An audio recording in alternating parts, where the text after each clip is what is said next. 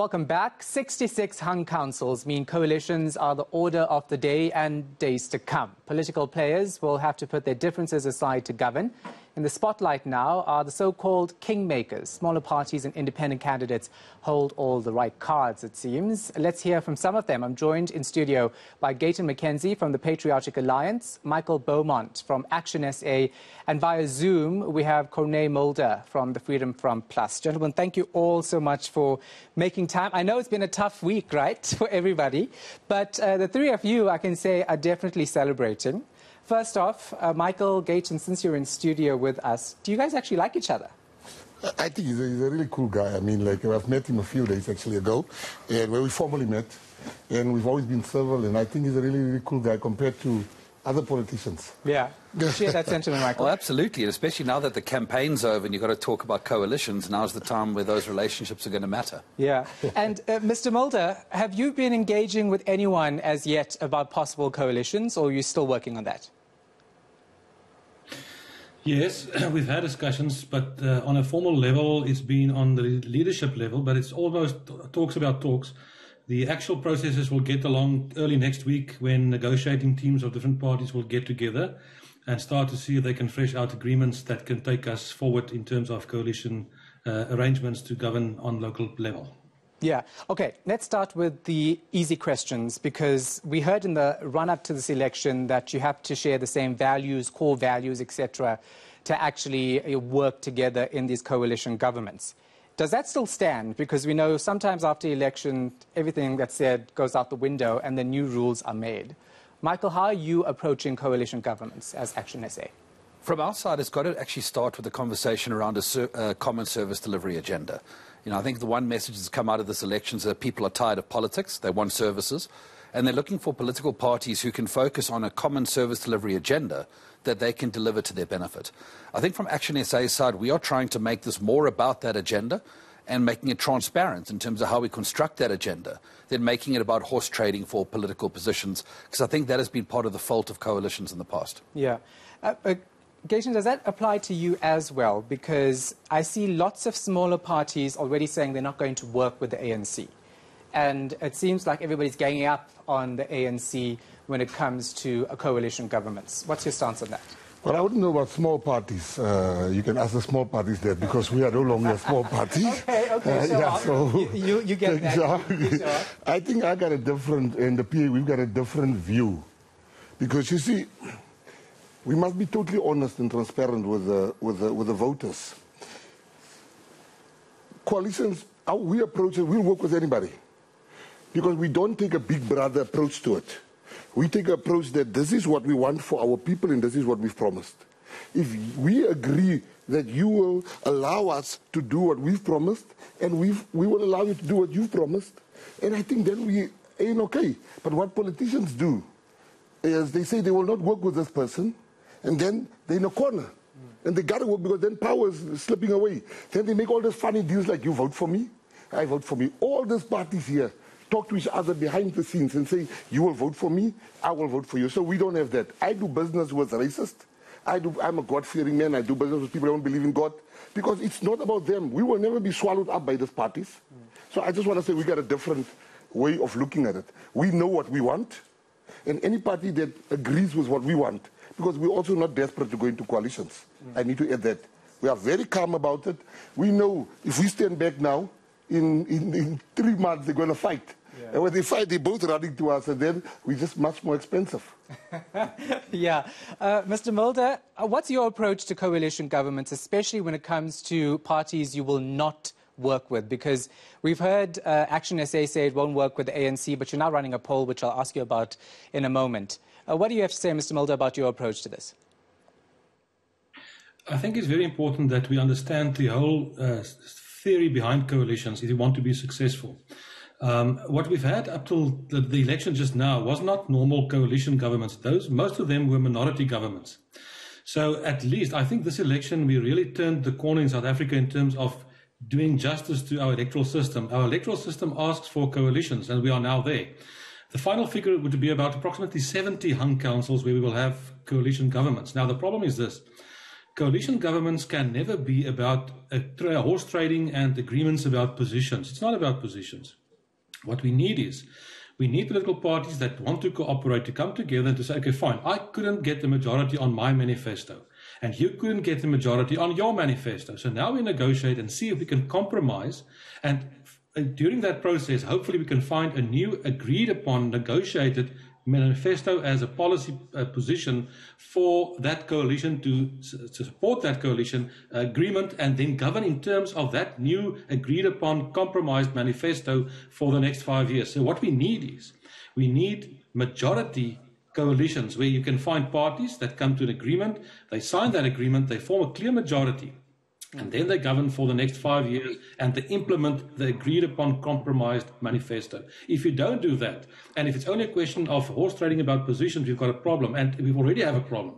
I think earlier you mentioned that in terms of the uh, Municipal Structures Act, only gives 14 days after proclamation for uh, new councils to be put in place.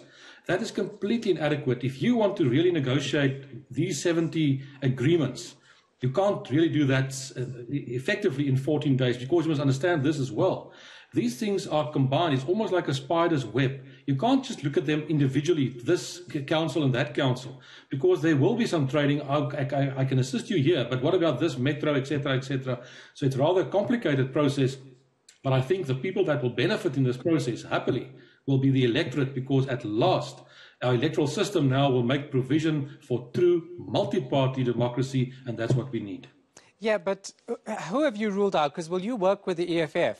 I mean, you know, no, no, you no, guys have we, been very hardcore no, about said, each other.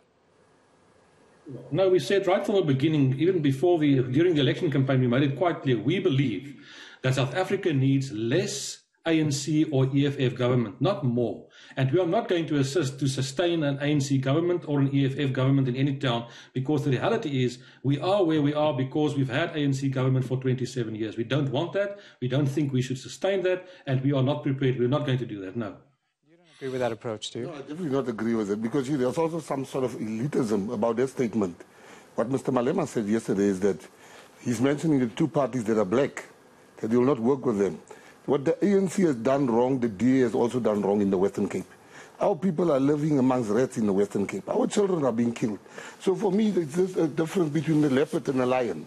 So what I'm saying to you is that anybody that tells you they'll not go into a coalition with this one or with that one, on day 13, call us all back here. There's going to be lots of deals done. What we are saying as the PA, we say up front, these are our three things. Number one, we want... Uh, uh, our government to, to, to, to move closer to God. We should, if you, if when you watch uh, uh, Joe Biden, you want God. your government to move closer to God? Yes, you, you watch Joe Biden when he was inaugurated. God was everywhere there. You go to Qatar. I was on holiday, my last holiday was in Qatar. There was a godly government.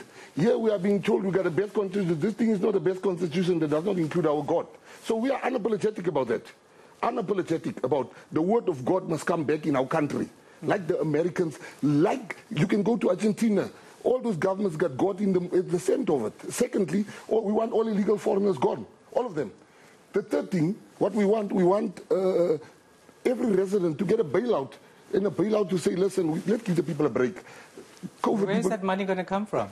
The, the money is not even coming in at the moment. And if you understand, that's what I'm trying to explain to people. The Cape Town is sitting with 18 billion rand at the moment. 18 billion. Do you know how much can 18 billion relieve the people of Mitchell's Plain, the people of Kraaifontein, the people of Khayelitsha?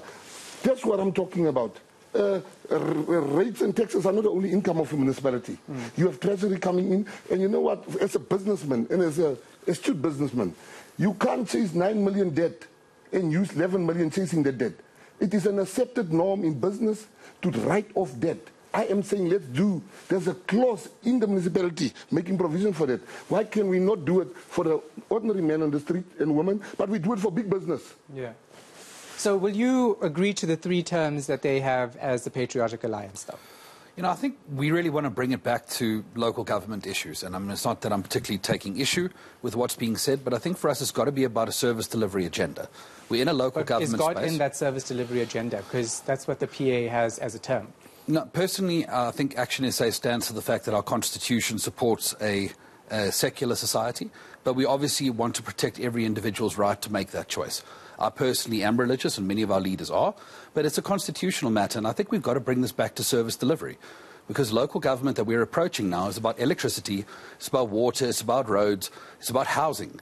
And I think there's so much space to work together in those issues because the big issues that divide us nationally as a country, and there are many, our country is very polarized on some of those national issues.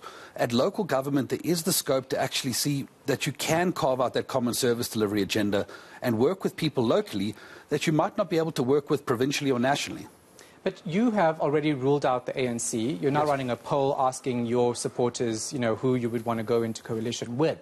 How is that looking? And how do you outright rule a party because as Corne and the FF Plus, it's, you know, because they were the architects of corruption. That's the line both of you are using. I heard uh, Herman Mashaba say that at The Rock the other night. So in the interest of society, if you need to work with the ANC to maybe even try to push them in the right direction, why wouldn't you consider that? Well, I mean, Shahan, let, us talk practically, because local government is a very practical space. I've worked in the city of Johannesburg where 35 billion rands worth of fraud and corruption was investigated and the most horrific things were discovered when those matters were being investigated under Herman Mashaba's leadership.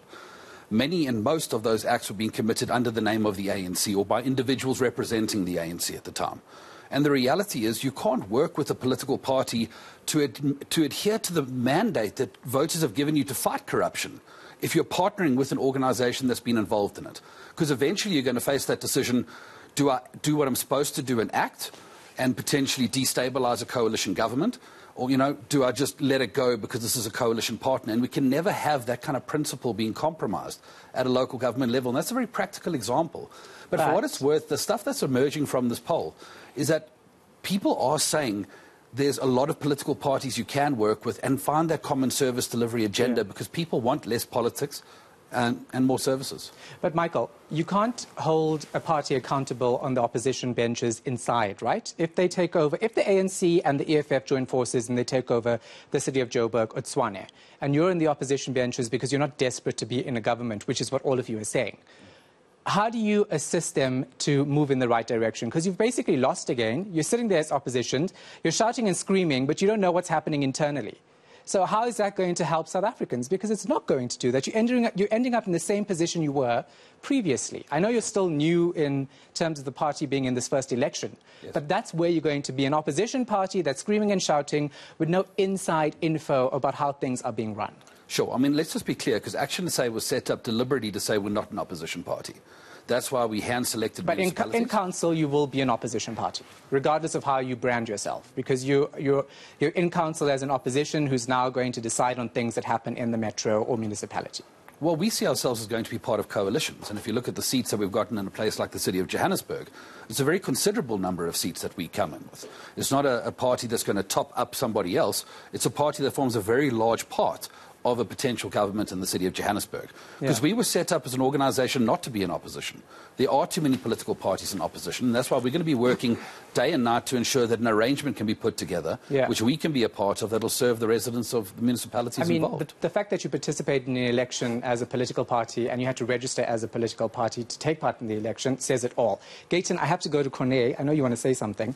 But, uh, Corne, just, just listening to the two gentlemen here, would you consider going into a coalition government with them? Because I know things happen behind the scenes, but I think South Africans have a right to know about who you're open to and where you stand with these things. Yeah, sure. No, absolutely. I think the first important point to take into consideration is that obviously these kind of agreements are not negotiated on television. They are happening behind closed doors. But in the end, the results will be public and will be there for the public to see. No, we said quite clearly, and I've, I've that uh, we don't want to have more ANC or EFF government. But yeah, besides that, we are prepared to cooperate with all other parties and to negotiate and to see if we can find common ground. And obviously, you will have different situations in different uh, councils. For in some councils, we will be able to form coalition governments and we will be part of those governments and we will be a majority with the other coalition partners and we will govern in the best interest of the community. And that's what the electorate expects. Yeah. But there are other instances where the ANC will be the clear governing party, and, and that will be so. But we can also be a very obje- uh, uh, effective opposition party, and we'll make it as difficult as possible for them playing the role of opposition. We know how to do that as well. And slowly but surely, there will be another election in 2024. And from our perspective, it's only a question of time before we replace the ANC in South Africa, and that's what we're striving for. So obviously, we will uh, co- cooperate and, and, and negotiate with other parties to, to the best interest of the electorate.